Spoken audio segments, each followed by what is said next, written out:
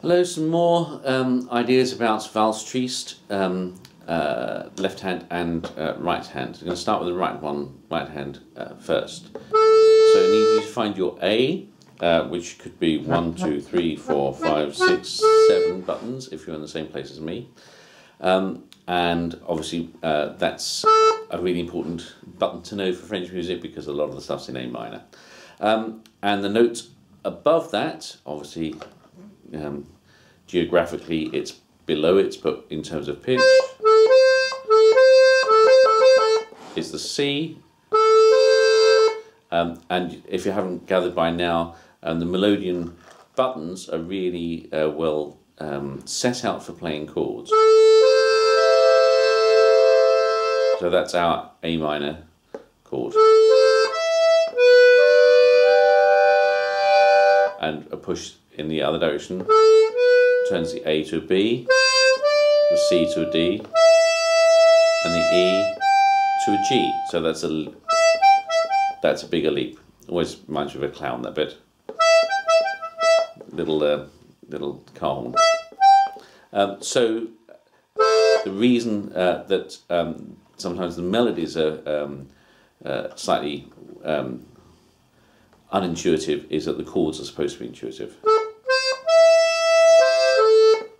So, A, middle finger. Now the B, uh, everything's on the push, on everything's on the pull at the moment, but the B, if you look at it as if you were looking down at the keyboard, which I don't recommend you do too often, uh, looks as if it should be a lower pitched note because we're working back towards the back towards the bass end. So it looks like that note should be just a, a tiny bit lower, but it's a tiny bit higher. So sometimes looking is not your best friend. Um, and I would advise if you just sometimes think of working your way up a piano, sometimes going from the white notes to the black notes can feel like a little bit of a shift. So if you're thinking of the keyboard as one thing rather than two single rows, a single row in G and a single row in C, so um, uh, if you're thinking of uh, it as one combined keyboard, it doesn't feel so bizarre to be to be going up in pitch, even though we're fewer buttons uh, along on this set. Uh, set. That makes sense. So, in fingering wise, it's um, I'm going to call this uh, three because I use my thumb quite a bit. Uh, so three, two, four, but that's actually very ergonomic. It does. It may be weird to think I'm going up three notes, but I'm using three, two, four. But it does. It feels natural. So just round and round and round with that.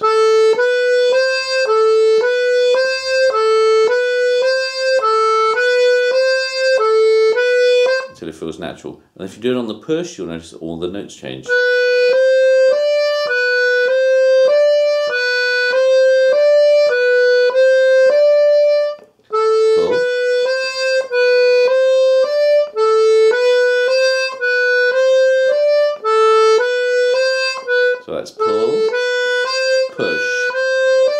Buttons are doing the same job on this hand.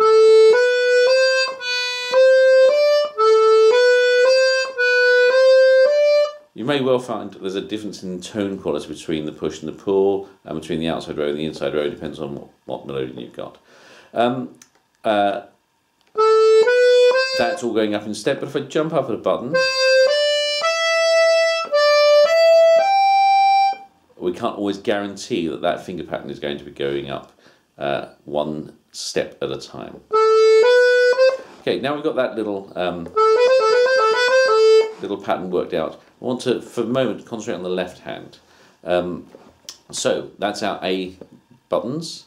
Remember, we've got two sets of Gs. That's G on the push, and that's G on the pull. So that's our A. Just the umpa and then on the G.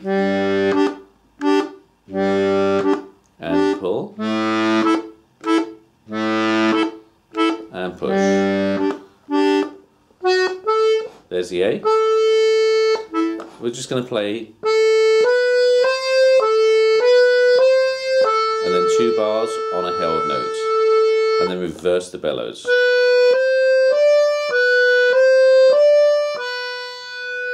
So here it is slowly.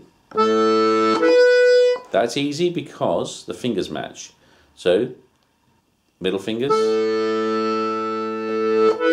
pointing fingers. Then you just have to use pointing finger and the ring finger for that one. So that's easy. You may have to uh, concentrate on that one.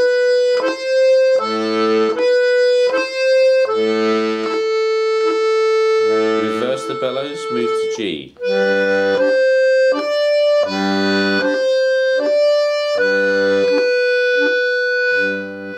If you run out of air, it's no big deal. Okay, um, you can either you can either start further out for the A, uh, so that you've got more room to push in, or or just don't worry about it at this stage. It is something to um, get right in the future, but not for now. So on the pull, all I'm doing is that on the right hand, over and over again, and then changing the bellows.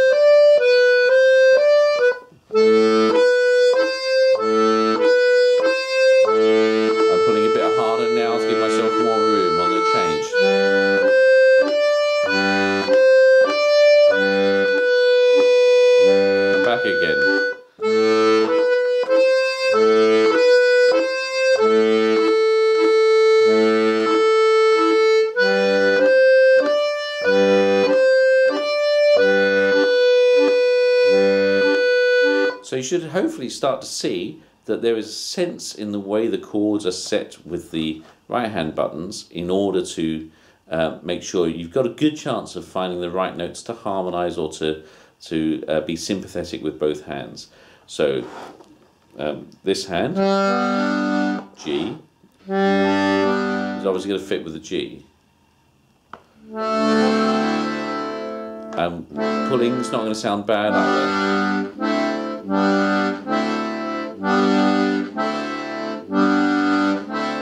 For the classical musicians, if you know Petrushka, Stravinsky sets out to get that sort of a, uh, effect from the orchestra. Anyway, um, uh, this time I'm going to ask you with the left hand to work round the chords. The only chord we're going to leave out for the moment is uh, C, which is push down here. I'm not going to worry about that, but we are going to look at A, pull, then G. Remember, you can do it in two ways, but up here it's the push. And then F, remember it's down here on the pull. Of course, it's also on the push as well, but we want it on the pull. Why? Well, here's why. Because we're playing those three notes. And if I reverse it, this hand still plays F. But this hand's now working on. Uh, there's nothing wrong with that in, in the right context. You might want to resolve it, but we want the F on the pull. Uh, if you can hear anything in the background, it's my daughter practicing the flute. Um, so we're going to work around the buttons. To G on the push. To F on the pull. And then we're going to jump back up to where the A buttons are, but we're going to push this time, which takes us to E. A minor. Push G.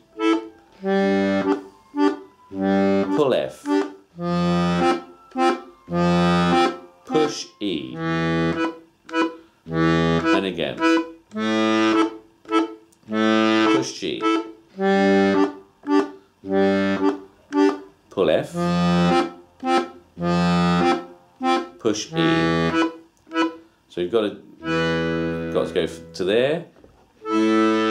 Starts on the pull, on the push, on the pull, on the push. And that's one called for me that it's better in tune with more air than less air.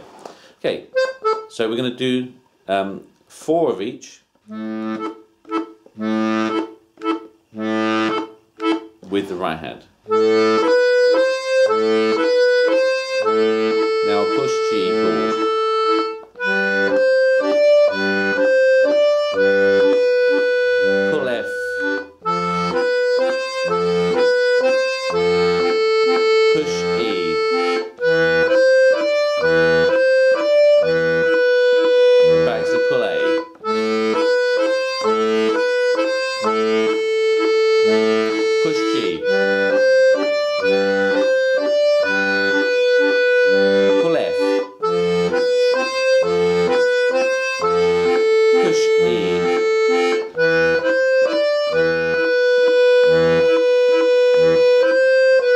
Compositional point of view, when you've repeated things a few times, you might want to break out of the pattern. So that's why there, instead of playing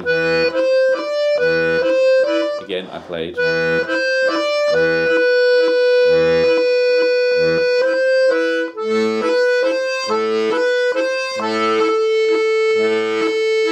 Push G.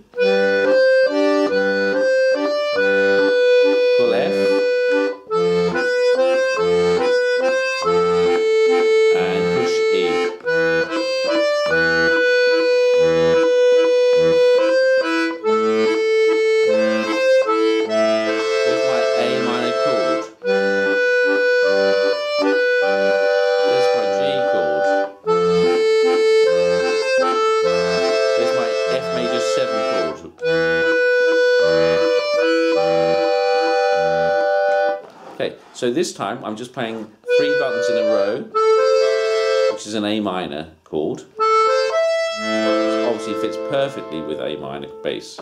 This time, keep the same buttons here, push, so I've come back to the G row, three buttons in a row. And it's G, D, B, so first inversion G chord, fits perfectly. Now the A minor chord over in F is going to give us a lovely F major 7 chord.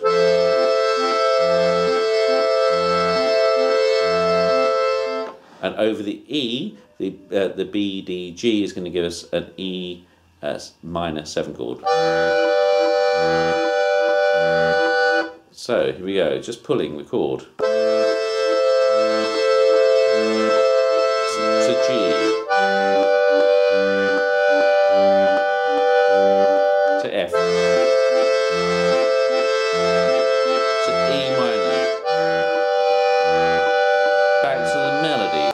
Uh, so uh, it's just the melody.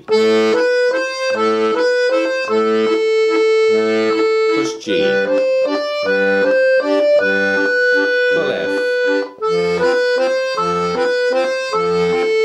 Push E.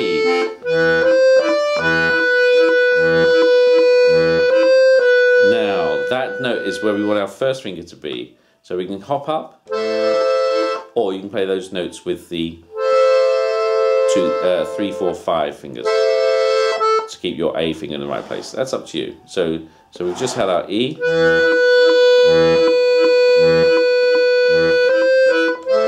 Using all the weak fingers, or you can jump. I'm going to use the weak fingers.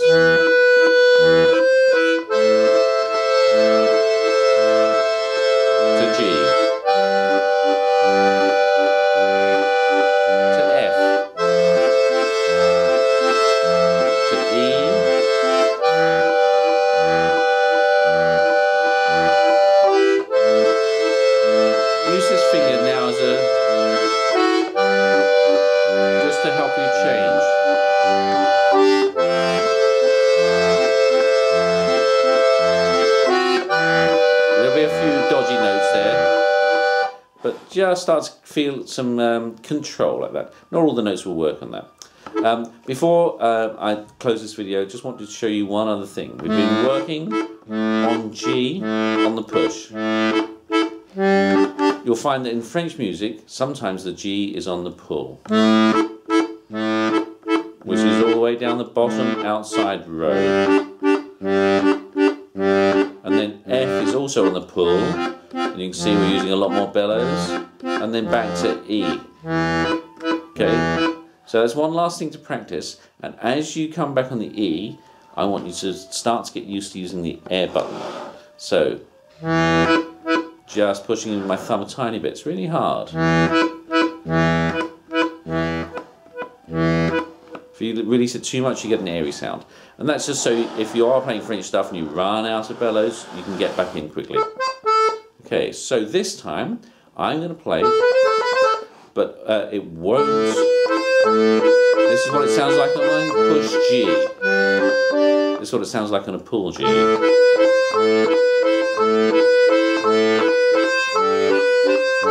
So this doesn't change, and we get this lovely tension between the hands, which releases when we go to F. And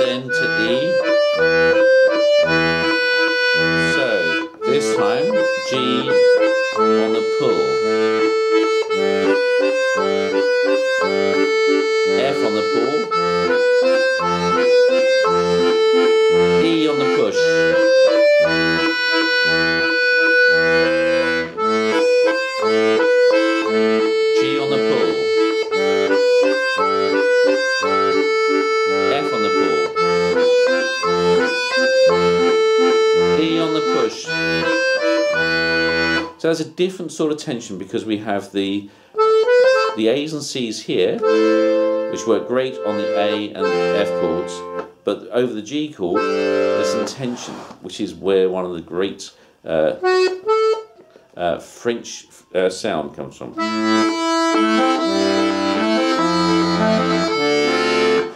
Okay, I hope that's some use.